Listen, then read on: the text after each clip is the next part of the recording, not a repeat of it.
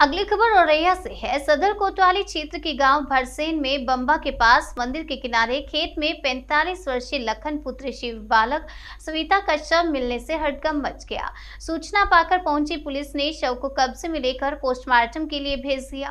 मौके पर मौजूद पुलिस मामले की जाँच पड़ताल में जुटी है। मौत का कारण अभी स्पष्ट नहीं हो सका है।